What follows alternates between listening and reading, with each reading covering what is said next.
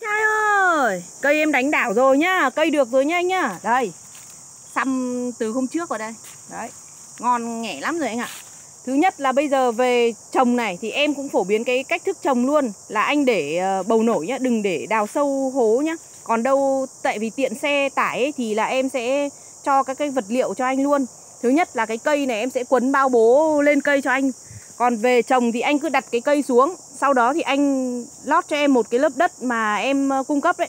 Cái đất đấy thì là một, một phần cát này một phần sơ dừa này 3 phần đất và 0,5 phần chấu. Trộn hết tất cả các hỗn hợp đấy vào với nhau.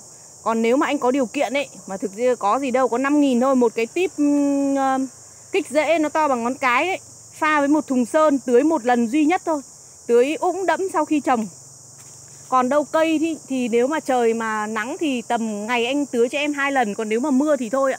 Có nghĩa là anh phun lấy cái vòi phun ấy phun lên trên cây. Và sau đấy thì nó chảy nước xuống. Ở phần dưới thì không cần tưới ống nha anh nhá.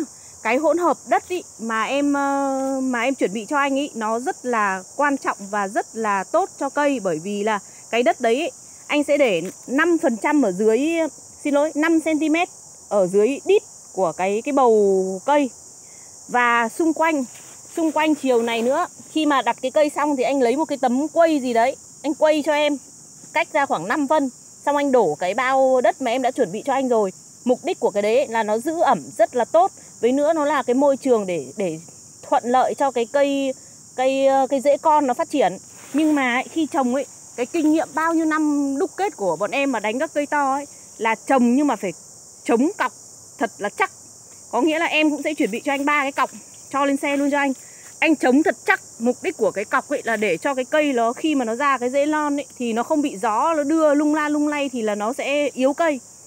Uhm, hỏng rễ thế phải trồng xong thì chống thật chắc. Thế thôi ạ.